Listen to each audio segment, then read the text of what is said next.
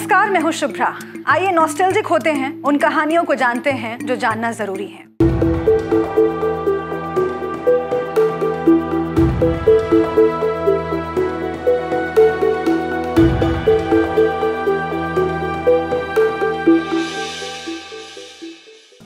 कुछ लोग महज इंसान नहीं, बल्कि तारीख होते हैं।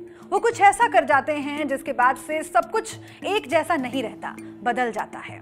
ऐसी ही एक थी अफ़गानिस्तान की मीना किश्वर कमाल। अपनी छोटी सी ज़िंदगी में मीना ने एक बड़ी लकीर खींची। वो लकीर कौन सी थी, ये जानने के लिए चलते हैं 1977 में। साल 1977 कभी पेरिस ऑफ़ सेंट्रल एशिया कहा जाने वाला काबुल इस वक्त एक नाजुक दौर से गुजर रहा था।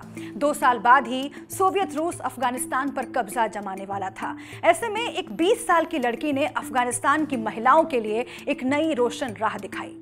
उसी के दिखाए रास्ते पर चलकर अफ़गानिस्तान की महिलाओं ने अगले 30 सालों के लिए अंधेरे वक्त का सामना किया। ये लड़की थी मीना किश्वर कमाल। मीना ने इसी साल revolutionary association of the women of Afghanistan बनाई थी। फेमिनिस्ट महिलाओं का एक छोटा सा गुरिल्ला ग्रुप जिसका मकसद ही था बेआवाज महिलाओं को आवाज़ देना। रावा की ये मुहिम अभी तक जारी है। अफ़गानिस्तान को लेकर आमतौर पर जो तस्वीरें सामने आती हैं, वो कुछ इस तरह की हैं। तालिबान के चंगुल में फंसा अफ़गानिस्तान, बंद और पिछड़ा अफ़गानिस्तान। महिलाओं को लेकर बर्बर सोच रखने वाला तालिबान। लेकिन अफ़गानिस्तान हमेशा से ऐसा नहीं था। 1933 से लेकर 1973 तक का दौर एक प्रोग्रेसिव दौर था, जब महिलाओं को उनके हक देने का काम किया गया। बादशाह मोहम्मद जहीर शाह ने ऐसे कई कदम उठाए भी थे। यही वो वक्त था जब मीना बड़ी हो रही थी। मीना जो काबुल के ऐसे परिवार से ताल्लुक रखती थी, जो राजघराने का करीबी रहा था। घर में पढ़ाई लिखाई का माहौल था और ऐसे में मीना और उसके नौ भाई बहनों को पढ़ने लिखने के मौके मिले, जो कि उस वक्त के अफ़गानिस्तान के लिए बड़ी बात थी। माता पिता ये जान गए थे कि मीना दूसरे बच्चों से अलग थी। जिस उम्र में उसके बहन, भाई सुख सुविधाओं के बीच एक बेफिक्र ज़िंदगी जी रहे थे, उसी वक्त मीना ज़िंदगी के बड़े सवालों से जूझ रही थी। वो घर में काम करने वाले लोगों को देखकर अक्सर माता पिता से सवाल किया करती थी। वो पूछती थी कि घरों में काम करने वाले लोगों को वो हक हासिल क्यों नहीं है जो घर वालों को मिले हुए हैं? नन्ही सी मीना ने अफ़गानिस्तान की महिलाओं के शोषण की कहानी को खुद से जोड़ना शुरू कर दिया था।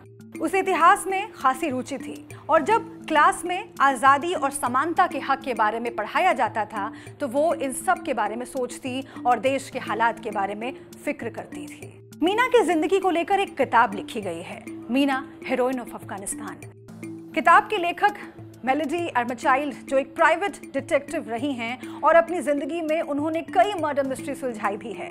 किताब में कहा गया है कि ग्रेजुएशन के बाद मीना वकालत पढ़ना चाहती थी, जिससे कि वो महिलाओं के लिए मुकदमे कोर्ट में लड़ सके। लेकिन तब तक देश का उदारवादी माहौल एकदम बदल चुका था। जहीर शाह को उनके कजिन मोहम्मद दाऊद ने गद्दी से हटा दिया था और चरमपंथी धीरे धीरे हावी हो रहे थे। 1976 तक, जब मीना ने यूनिवर्सिटी में दाखिला लिया, तब तक महिलाओं पर चरमपंथी हमले होने शुरू हो गए थे। जैसे अगर किसी महिला ने शॉर्ट स्कर्ट पहनी है तो उसके खुले पैरों पर तेजाब फेंक दिया जाता था। लेकिन मीना इस कट्टरपंथ को चुनौती देने वाली थी। यही वो वक्त था, जब अफ़गानिस्तान की पाँच महिलाओं ने रावा बनाई। रावा के काम करने का एजेंडा 60 के दशक की पश्चिमी देशों की फेमिनिस्ट जैसा था। गुरिल्ला छाप। मीना सिर्फ़ एक फेमिनिस्ट थिंकर नहीं थी हालाँकि नब्बे का दशक आते आते रावा की भूमिका बदल गई। महिलाओं की पढ़ाई और सेहत पर काम करने वाले इस ग्रुप ने तालिबान से सीधी लड़ाई मोल ली।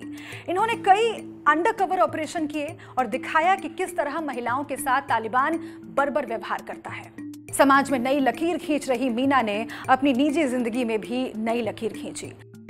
अफगानी समाज में तेरह साल की लड़कियों की शादी कर दी जाती है। ऐसे में थोड़ी बड़ी होने पर मीना पर भी ये दबाव डाला जाने लगा। घर वालों ने उसे दूर के कजिन और लेफ्टिस्ट सोच वाले डॉक्टर फैज अहमद से मिलवाया। मीना ने फैज के सामने अपनी कुछ शर्तें रखी, जैसे उसका पति कभी दूसरा निकाह नहीं करेगा। शादी के बाद भी वो पढ़ाई जारी रखेगी और उसका पति राजनीतिक सोच में दखल नहीं देगा।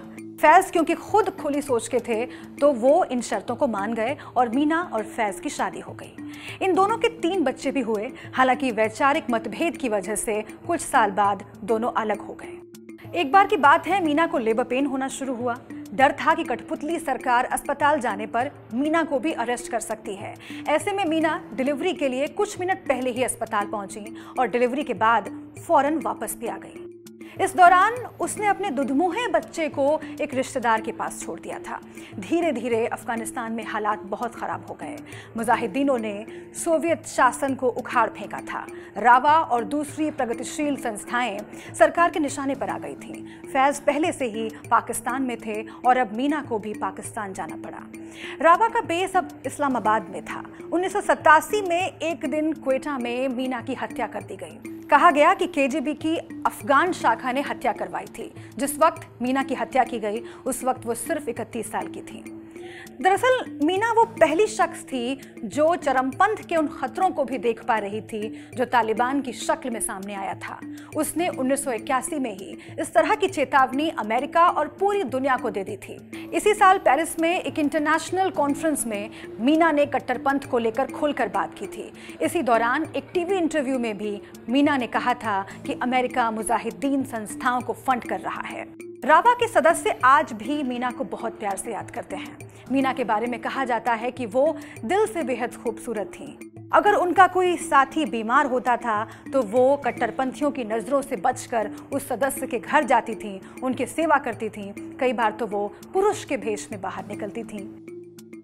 मीना एक कवित्री भी थी। वो दिल की भावनाएँ बहुत अच्छे से कागज़ पर उतारती थी। दरअसल, मीना एक शख्स न होकर एक इनकलाब है। जो ज़िंदगी की तरह निभाई गई। एक ज़िंदगी है जो इनकलाब की तरह जी गई। मीना के ही शब्दों में अगर कहें तो ये मीना ही हैं जो कहती हैं ए मेरे देश के लोगों ए भाई, अब मैं वो नहीं जो हुआ करती थी। मैं वो औरत हूँ जो जाग उठी है, मुझे अपनी राह मिल गई है। ऐसी ही एक नॉस्टैल्जिक कहानी के साथ हम फिर से हाजिर होंगे। तब तक के लिए दीजिए इजाज़त।